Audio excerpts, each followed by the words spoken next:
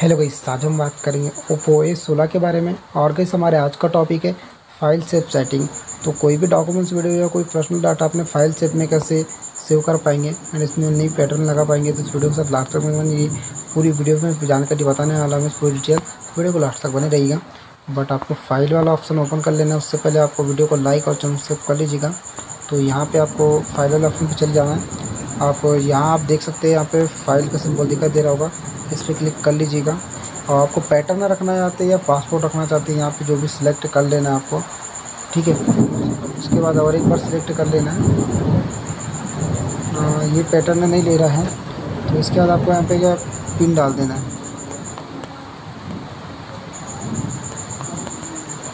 ये नेक्स्ट ये तो हो चुका है गोइट अब जो भी आप यहाँ पे यहाँ पे जो भी यहाँ पे रखना चाहते हैं सेव तो यहाँ पे आप यानी कि मतलब जो भी फोल्डर्स है डायरेक्टली यहाँ पे सेव रख पाएँगे। जैसे कि क्या होता है, यहाँ पे कोई भी आपको फ़ोटोज़ वीडियो या डॉक्यूमेंट्स रखना चाहते हैं तो यहाँ पे आपको यहाँ पे रख पाते हैं।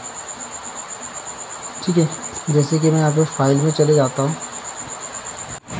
तो आप कोई भी पर्सनल डाटा को वो चाहे कॉन्टैक्ट नंबर हो फ़ोटोज़ वीडियो डॉक्यूमेंट तो यहाँ से आप कोई भी फ़ाइल में जाके, जैसे कि इस पर क्लिक कर लेंगे होल्डर डॉट पर जाके आपको मेव टू सेव फोल्डर में आपको यहाँ पे सेव कर लेना है आपको। तो ये जो केस सेव हो जाएगा। काफ़ी अच्छा टॉपिक है। आप देख सकते हैं यहाँ पे ये जो सेव हो चुका है यहाँ पे। आपको दिखा देता हूँ। ये देखिए। ये यहाँ पे आ चुका है। तो भाई, ये पर्सनल चीज़ें यहाँ पे हम रख सकते हैं। सेव बिना किसी को बताए। तो भाई, यहाँ पे ये वीडियो था हमारा आज का। उम्मीद करते हैं कि आप सभी को यह वीडियो पसंद आएगा। मिलते हैं नेक्स्ट वीडियो में। जय हिंद।